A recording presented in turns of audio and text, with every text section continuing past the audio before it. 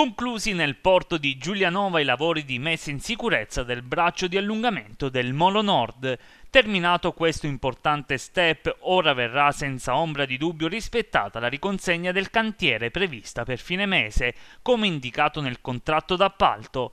Ora manca solo da effettuare l'intervento su circa 20 metri di murata esterna.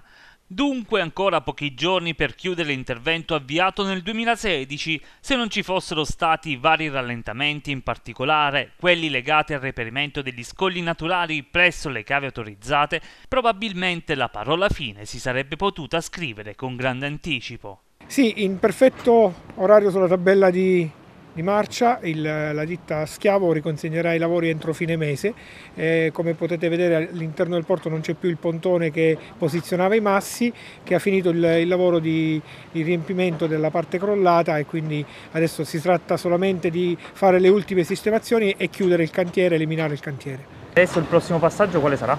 Il prossimo passaggio è già iniziato perché sappiamo che la Regione ha iniziato la parte di, di rilevazione sul eh, sulla, sul lavoro già fatto e dovrà poi fare una, gara, una nuova gara per gli ulteriori 87 metri che andranno a completare l'opera che protegge l'ingresso del, del porto. Cosa cambia adesso con questi lavori?